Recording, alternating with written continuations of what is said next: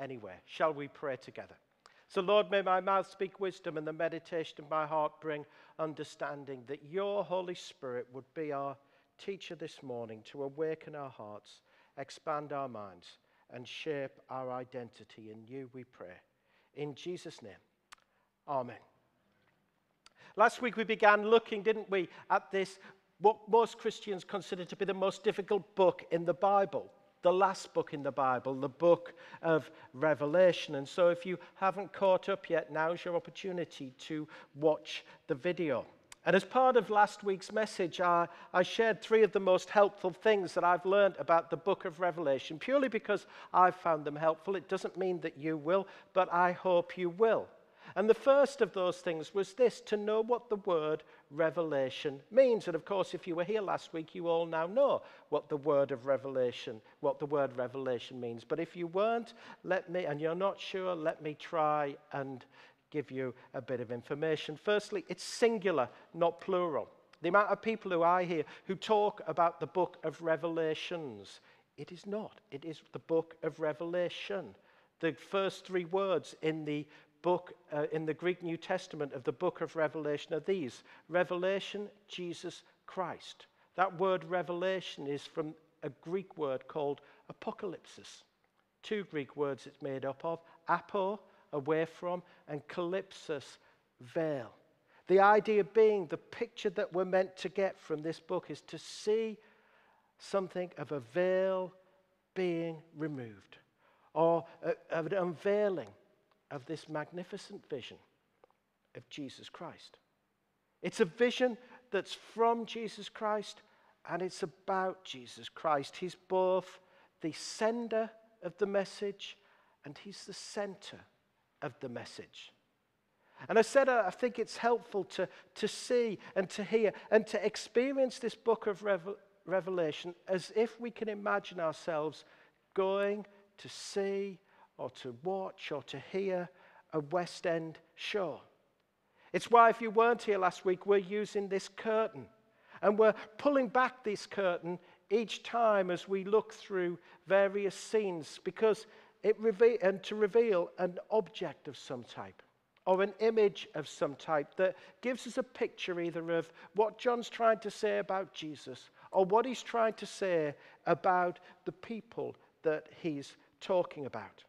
And so this week in Act 2, if you like, we're going to go to three scenes. We're going to pull back this curtain three times to see different objects, different images that might be important to help us understand this passage. And as we go through this passage, what we'll see is that for some, it might be a familiar holiday destination the Aegean Sea and what is now modern day Turkey. So here's scene one, if you like, as we, as we pull back the curtain once more. And as we pull back the curtain once more, we're on, this time, Patmos. Anyone been to Patmos? There's a couple of people have been. There's two people in our church at the moment who are on Patmos at this very time. It's a rocky island similar in size to Jersey. And there we hear that the writer of this book, John, is, is living there in exile. He's been banished there. And John is writing to seven churches in what is now modern day Turkey. He knows these seven churches and they know him. And just like he's in a difficult place, so they're in a difficult place. We read in verses 9 and 10 they're patiently enduring. They're facing difficult situations and persecution for their faith in the present, while living with the future hope of God's kingdom coming. And then, literally, one Sunday it just happened. While he's on Patmos, he receives this vision. He starts describing it, doesn't he, in verse 10? I was in the Spirit, if you like, recalling the words of the prophet Ezekiel in the way that he began his visions. And as the first few verses are keen to emphasize, this vision, notice the order, how it flows. The vision comes from God. through Jesus via an angel to John, which he then passes on to these seven churches. It's a vision we're coming back to each week. It's a vision, if you like, of the risen, exalted, ascended Jesus, exercising his authority. Seen and heard, if you like, through the threefold Old Testament office of prophet, priest, and king. It's why we've got a crown there as the object to show. How do I know that? That's a good question, isn't it? Because John's vision is soaked in the scriptures of the Old Testament. You may also remember that if you were here last week, another of those three helpful things that I've learned about the book of Revelation is that to understand this book, you kind of have to understand the rest of the book. The rest of the book of the Bible, and in particular, the Old Testament. And what becomes evident the more you know your Bibles and your Old Testament is you begin to realize that John knew his Old Testament like the back of his hand. He uses hundreds and hundreds of references to the Old Testament without any direct quote. We call them allusions, is the technical word. It could be a word or a phrase taken out of the Old Testament, or an image that would have been so synonymous with the original hearers from the Old Testament that they knew exactly the link that John was making. Roll forward 21 centuries to Western Britain, and sometimes those allusions lose their meaning. They lose their significance, which is why we need to be reminded of them, or why we need to learn them. You know, in the Greek New Testament, they reckon that there is 676 allusions in this one book in 405 verses. That means there must be at least one and a half in every verse. So let me just give you an example of that, just from that first scene that we saw before you. You know, just so you can see the idea as to where I'm getting this from and not just making up. You will see on your program guide, as we've called it, a map. And then you'll see next to that map three helpful scenes scene one, scene two, scene three. It's where we're going this morning. And I've put there some of the Old Testament references. I'm going to give you one of them to show you this morning. My hope is that what you do is when you leave here, at some stage before next week, is you've looked at those references for yourself, that you've suddenly been able to see, because what is far more better for your learning, and remember, each of us is responsible for our own individual growth with God, is for you to go and look at those verses for yourself. It's so much more empowering.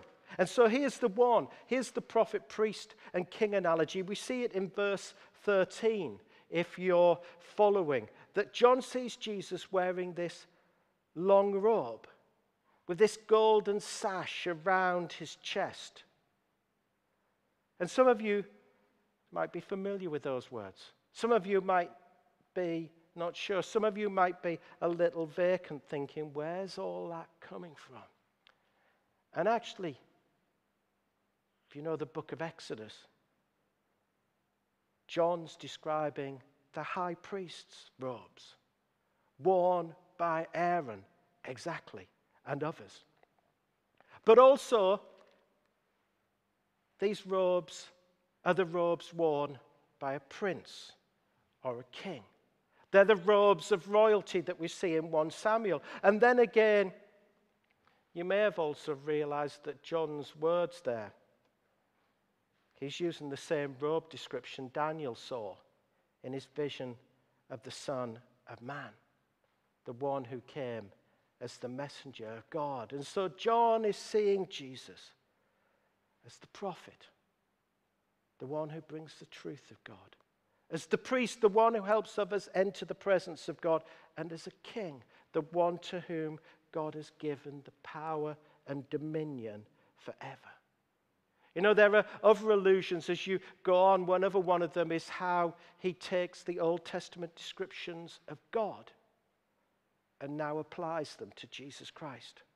There are others as well, so have some fun looking at them. And with that, the curtain closes for scene one.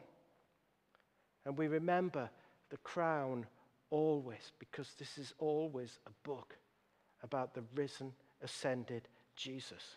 And so this time now, we open the curtain once more. And as we open the curtain once more, we find ourselves moving away from Patmos onto the mainland of modern day Turkey.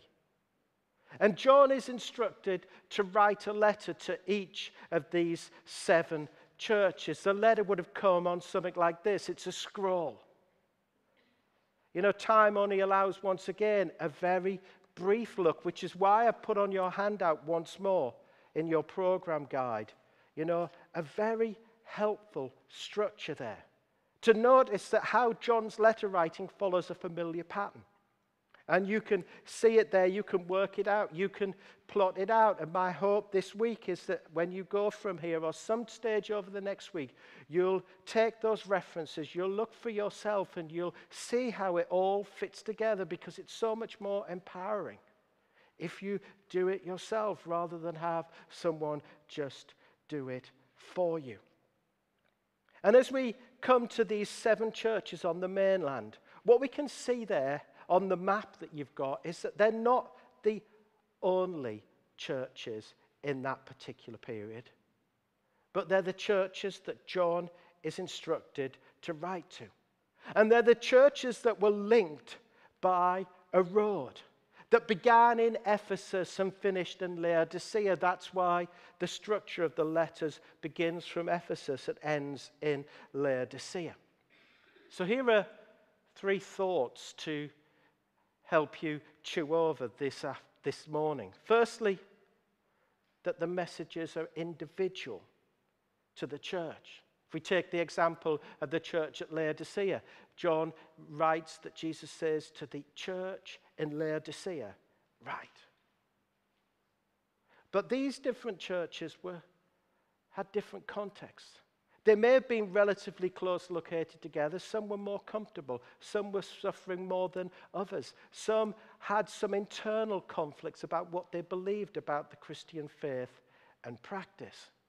So, kind of no change for churches today, really, is it? And while the messages are individual, they're not private. They're not private just to that one church. In fact, they're not private just to all of the seven churches. Let he, anyone who has an ear, listen to what the Spirit is saying to the churches. It therefore means that it's only by taking all the messages that Jesus says to the churches that we get a composite picture of what Jesus is saying to the church overall. In that way, the seven act as representative of all the churches. And so, with that, the curtain closes once more on scene two. Because what I want to get us to is scene three this morning. And this church known as Laodicea. What do we know about the church of Laodicea? Well, what we probably know is that in this particular book, in this particular letter, we encounter two of the most famous verses, verses 16 and 20, in the whole of the book of Revelation. And actually, two of the most misunderstood. You see, here's what every history book, religious or secular, will tell you about the church of Laodicea at that time. You know, Jesus sums it up in verse 17. They were rich, prosperous, and thought they needed nothing. You see, that's why I've got one of these. You know, Martin Fitzgerald got me this uh, from his trip to Cambridge. A million pounds Bank of Sterling. You know, that was them. They, they, they thought they had riches, whereas actually Jesus was about to tell them that they were, in that sense, poor. And it was worthless. You know, their wealth had come from three sources. Their wealth had come from the city's location, first of all. Because where Laodicea was on that route, if you like, people traveled north and south through Laodicea. They traveled east and west through Laodicea. It became this meeting place, if you like, this junction on strategic trade routes. What therefore happened was that the money started to appear all throughout Laodicea. It became a very wealthy finance center, we could ask where lots and lots of people were making transactions, lots and lots of people were depositing money. This is how wealthy they became. About three decades before, Laodicea suffered an earthquake. And rather than asking for outside help, they rebuilt the city themselves. They were that wealthy. Also, though, the city was, was rich because it had an excellent medical hospital, particularly very, very well known in the healing of eyes and ears. And also, it was rich because its local farmers had developed a particular wool that kind of like made it a bit like the Milan of today, a fashion center as well. But as we see riches and prosperity bring many dangers, particularly for a church. Because this isn't the world that Jesus is talking about. Smugness and self reliance, arrogance and delusion, even to the extent that what Laodicea have done is they've kind of locked Jesus out of the building. But for all Laodicea's wealth, it had one major problem.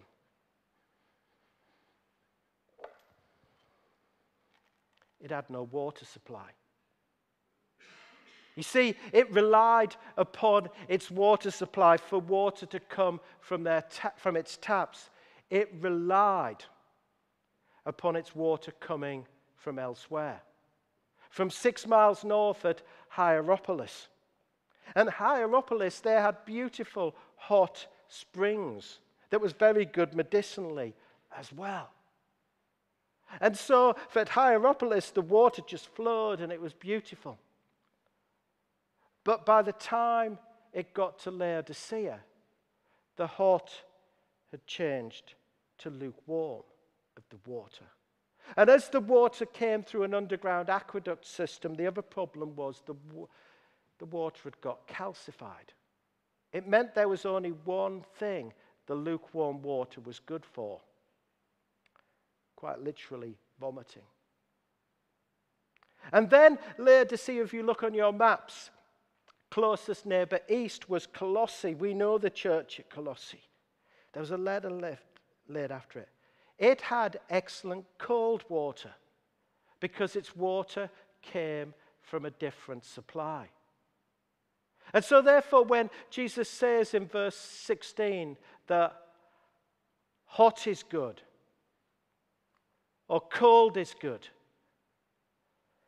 but lukewarm is good for nothing, perhaps we begin to understand what Jesus is actually saying there.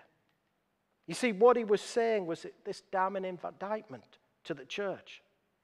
That Jesus, the one who we read in chapter 1, speaks like the voice of the sound of many waters, tells the Laodicean church that he's about to vomit them out of his mouth. That's what the word means. And it wasn't the state of their faith as such which made him sick, but their ineffectiveness, the lack of fruit that was produced in their lives. And so, Jesus, as we read in chapter 1, the one who speaks with a sharp two edged sword, now wields the blade slicing through the general smugness before piercing to the jugular. You think you need nothing? How wretched and pitiful you are. You say you're rich, well, I say you're poor. You say you're a center for excellence for eye surgery, well, I say you can't even see how blind you are. You say you're a fashion center, well, I say you're like the emperor with new clothes. And Jesus is the judge's remarks are like this sharp double edged sword cutting deep to the very heart of this church that had locked him out of the midst. It's why when we come to the picture in verse 20. This very famous picture that was shown by Holman Hunt. Maybe we've all seen this picture. It wasn't written to non believers, it was written to the church that had locked Jesus out. And yet, within this most almost damning indictment of the church comes the most loving promise that if the church would change, if the church would repent, and if the church would open that door from the inside, then you have one of the most greatest promises of the hospitality and blessing of God you ever find in the whole of Scripture. And so I wonder where the Spirit might be speaking to us this morning as we close. Where might He want to encourage you or build your faith? Where might He want you to take some time this week, as I've already mentioned, looking through these references? Where might there be a, a warning for some to stop locking Jesus out of the door of your life because He's knocking? And in that, remembering the loving promise that comes with it. Shall we pray?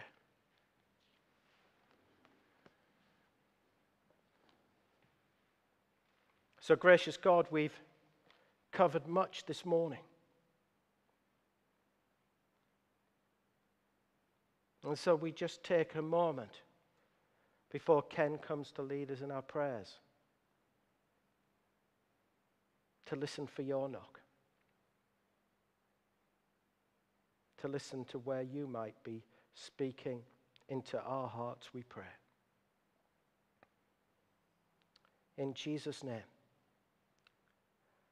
amen.